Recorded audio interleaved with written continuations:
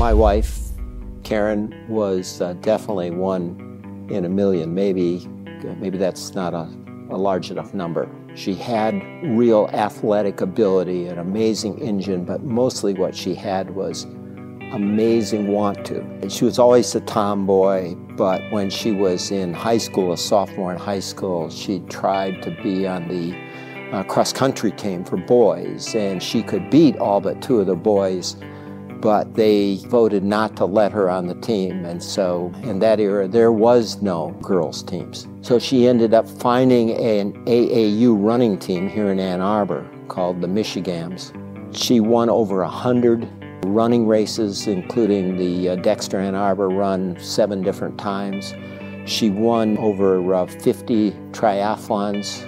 She won seven world championship in the sport of triathlon, I think 17 national championships. She was inducted into the USA Triathlon Hall of Fame in uh, 2014, one of uh, just six women. She also started women-only races. This is one of the really special people in this world.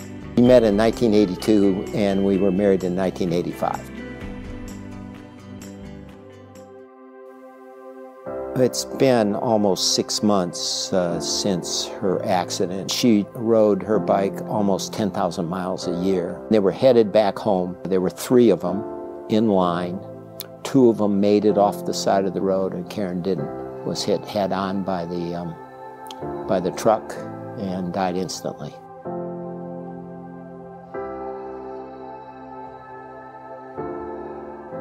Her legacy project is completing the border to border trail in Washtenaw County. When it's done, it will be 70 miles, continuous miles of non motorized trail. One of the bridges is going to be dedicated to her and to the women's Title IX, women's running, women in sports movement. I hope completing the Border to Border Trail inspires people to share her dream. We need to raise money to do this, and I'm hoping that her story will inspire people to join us. Your afterlife is what you leave behind. This will be our contribution that will outlive us and serve many generations to come. We are truly honored that uh, Karen is being recognized a Governor's Fitness Award.